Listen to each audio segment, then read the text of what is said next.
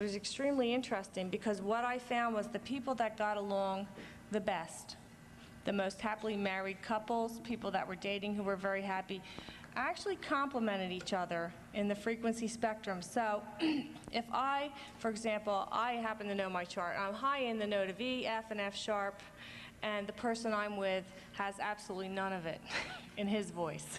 But I'm low in A sharp, which is my birth note, which is uh, Aquarius, color purple, and I ha- and he's happened to be chocked full of it. And I began to watch this as I was teaching frequency um, and watching people interact and then voice printing them. I was able to see how we feed each other frequency and our frequency patterns. So if, if you're sitting next to someone who has exactly what you need, you're low in the note of C or the color red, and you're sitting next to someone like Dean with a red shirt, that's going to help fill in some of your frequency uh, patterns and spectrums, and we're going to give a little workshop on the astrology, color, light, frequency, sound connection, and why we make some of the choices that we make. It's, it's really a fascinating study. When you get back to this chart, this is a new chart we've added to the program. We've taken that, that voice print you saw earlier, and we've displayed it across many octaves.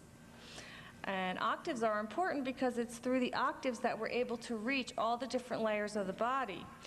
When I want to talk to your muscle, I talk to it in about the 15 to 30 hertz range.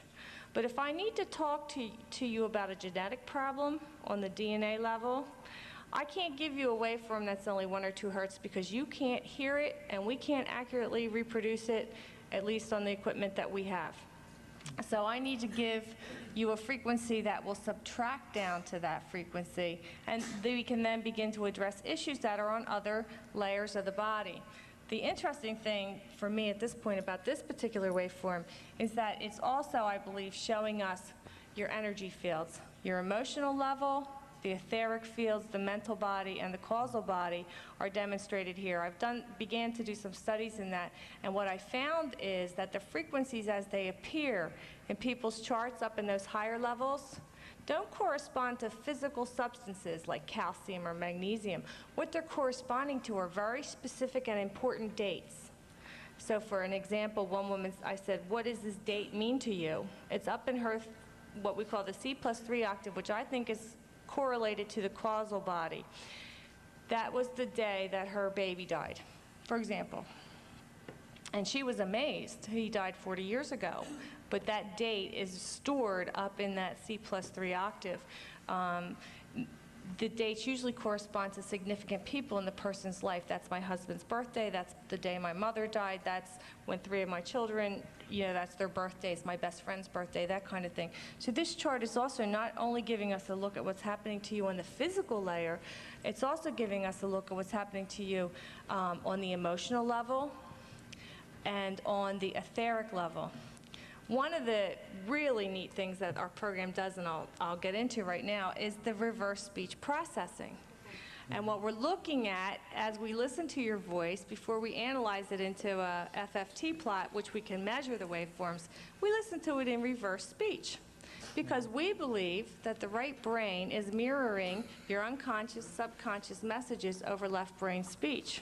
So the, the program gives us this capability. And in my own research, I'm always looking for the unconscious, subconscious of the person to lead me in the direction that we need to go in frequency work to help them get better. MS patients, for me, are always um, a good example of that. I'm always trying to, to come up with what's happening um, to cause their MS since we don't have a really good physical problem. Uh, a, it seems to be up in the emotional layers of the body and of the energy fields. So by listening to reverse speech patterns, we're beginning to um, formulate uh, and get some information from the right brain about what's going on in the unconscious. And I'm hoping someday for the unconscious to tell me what we need to do to help that person get better. You know, what they need to do. We did some reverse speech processing last night on me, which was which was really funny. But I, I, kept saying in reverse speech, clear I. I need it, I need it, I need it.